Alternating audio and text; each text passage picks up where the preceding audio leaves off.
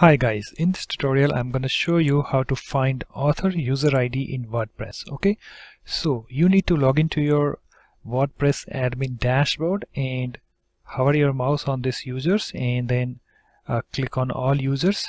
And guys uh, you need to be logged in as an administrator in order to you know check it the author user ID okay guys so here you can see all you know all the users and suppose I want to find you know the uh, user ID of this author okay? So I just need to you know go to my uh, go to you know the posts the number of posts uh, he has you know written.